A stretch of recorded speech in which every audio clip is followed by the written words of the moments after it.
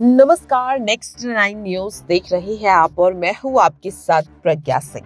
पश्चिम बंगाल की मुख्यमंत्री ममता बनर्जी को अब अस्पताल से छुट्टी मिल गई है। फ़िलहाल सिर पर चोट लगने की वजह से वे ऑब्जर्वेशन में रहने वाली हैं। राज्य सरकार के ज़रिए संचालित एस एस के एम अस्पताल के डायरेक्टर डॉक्टर मणिमोय बधोपोशाय ने इसकी जानकारी दी। मुख्यमंत्री ममता बनर्जी को घर पर गिरने की वजह से उनके सिर में गंभीर चोट लग गई थी। उन्हें तुरंत हॉस्पिटल में ले जाया गया, जहाँ डॉक्टरों ने कुछ टाके लगाए और उनका इलाज किया।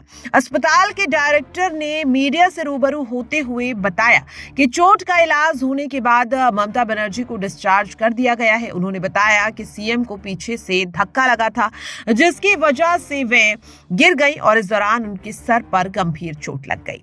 बता दें कि इसके बाद उन्हें हॉस्पिटल में एडमिट कराया गया। हॉस्पिटल के डायरेक्टर ने बताया है कि फ़िलहाल घबराने की ज़रूरत नहीं है। ममता बनर्जी के माथे पर तीन टाके लगाए गए हैं और एक टाका उनकी नाक पर भी लगाया गया, जहाँ से लगातार खून बह रहा था। हॉस्पिटल के डायरेक्टर ने बताया कि ममता बनर्जी को शाम लगभग साढ़े सात बजे लेकर आया गया।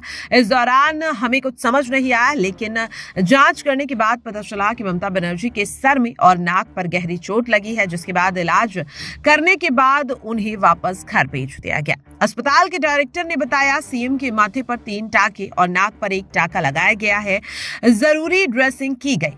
एसीजीआई सिटी स्कैन जैसी ज़रूरी जाँच भी की गई। इस संबंध में डॉक्टरों ने अपनी राय भी बता दी है। उन्होंने कहा कि घबराने की कोई ज़रूरत नहीं है। अस्पताल में भी यहाँ पर ममता बनर्जी को यही सलाह दी गई कि वे ज़्यादा से ज़्यादा ख्याल रखें।